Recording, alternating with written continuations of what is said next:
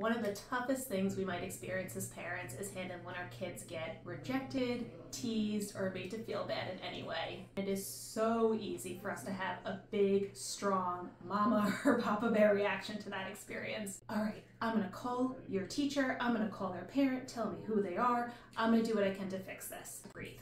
Give ourselves a moment just to stop and think. Be curious. So open up a conversation. We want to ask more questions. Are you comfortable telling me some more about that? Can you give me some more details? What happened next? Try to get as much information as they're willing to share. Validate and empathize. Sounds like that made you angry or you were upset. You know what? I think I'd feel the same way too if that happened. We're inviting them to be part of finding the solution. This is where it's okay for us to jump in and say, What can I do? Would you like me to reach out to your teacher and have a conversation? Is there anything else that would be helpful for me as a parent to do to help you feel better and to help you feel safe? Give praise. They took time to even mention that something was happening or to acknowledge an emotion they were having. You know what, I'm, I'm really proud of you for coming to talk to me about this, or I'm so glad I was even able to ask you questions about this.